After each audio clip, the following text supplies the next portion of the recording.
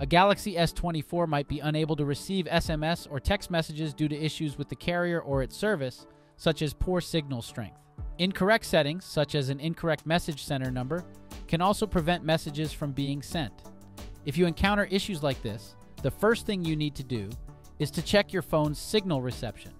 Checking the signal reception helps identify if poor or no network coverage is causing the issue with sending SMS.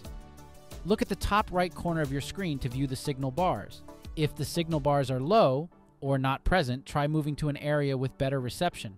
However, if you see your phone is getting a good reception and the problem persists, then what you need to do next is to restart your device.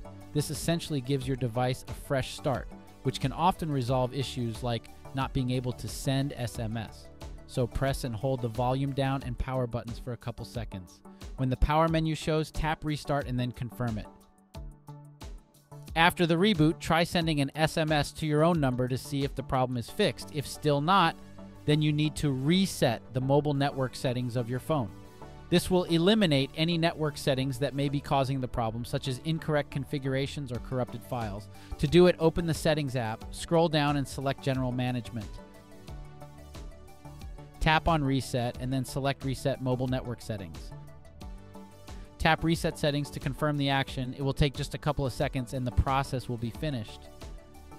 After that, try to see if the problem is fixed because it still persists then it's probably an account issue or there's a problem with the network. You're going to need to contact your carrier and ask for support. We hope this guide can be helpful. Thanks for watching.